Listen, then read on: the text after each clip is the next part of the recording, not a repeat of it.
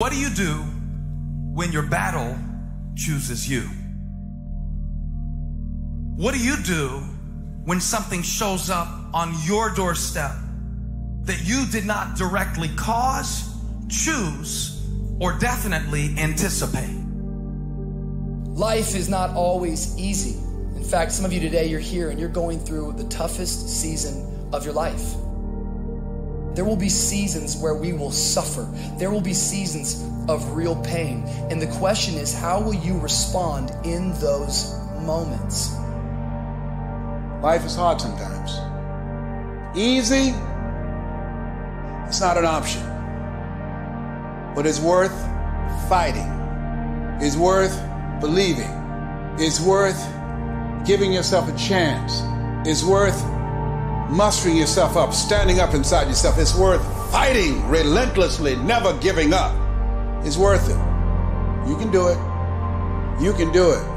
There's problems that we go through that cause stress, worry, anxiety, and fear, but you might be in the battle of your life. I want to encourage you. It's not about what's happening around you, it's always about what's happening inside of you. Just because you feel afraid doesn't mean you have to be afraid. Just because you feel discouraged doesn't mean you have to be discouraged. Just because you have fear doesn't mean fear has to have you. The sentence out of your mouth is a story that you are putting out. I'm not gonna make it. I quit. Let's get a divorce. Business is never coming back. We've lost too many people.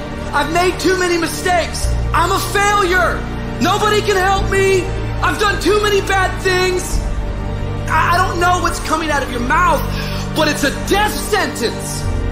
And as you continue to confess it and as you continue to declare it, well, don't be surprised when it becomes true in your life. We have to make sure that whenever I feel, when I think a death sentence, I must speak a life sentence. Feeling the sentence of death.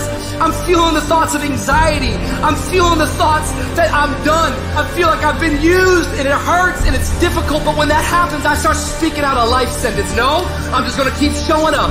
No, I'm going to get back up. The righteous man, he falls seven times, but he gets back up. Never give up. Never give in. Because skill can't get you past certain things. Quickness, agility can't get you. You gotta have mental toughness. Pain ain't permanent. Your pain ain't permanent. You can get through this.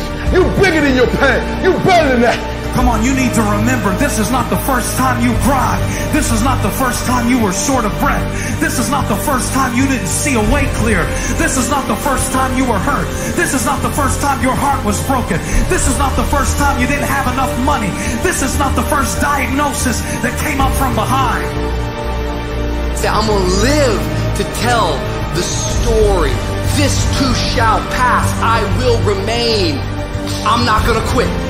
Every one of my burdens, there's a blessing on the inside of it. If you don't quit, you will win, baby.